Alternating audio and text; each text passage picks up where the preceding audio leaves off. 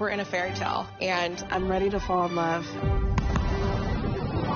Once upon a time, Modern dating, it's not working. a young woman began a quest for true love. We're in a fairy tale. You've been transported back in time. Can the old ways of courtship lead to new romance? More etiquette and being proper and chivalry. I'm loving this. A journey where swiping is out and courting is in. I hear the thunder of 19th century booties. Wait, booties?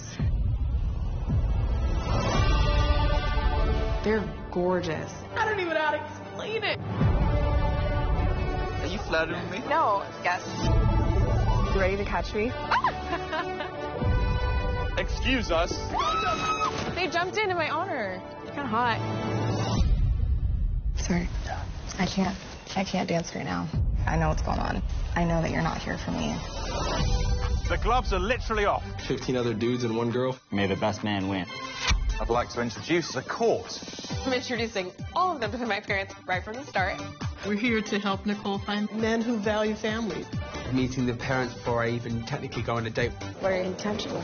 So, like, what are you looking for? I am just dude next door. I'm like, where can I get a corn dog around here? Bloody hell. You didn't have to be with her last night. You're hiding this from her family. Oh, God. I don't know if I can keep doing this. I'm sorry.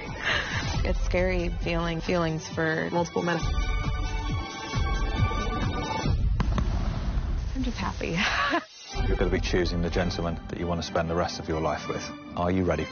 Never been more ready. I have somebody that I'm meant to be with.